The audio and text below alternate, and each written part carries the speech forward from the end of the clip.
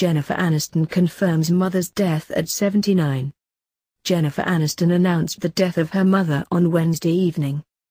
It is with great sadness that my brother John and I announce the passing of our mother Nancy Dow. She told people in a statement.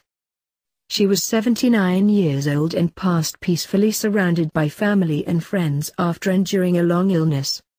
We ask that our family's privacy be respected as we grieve our loss.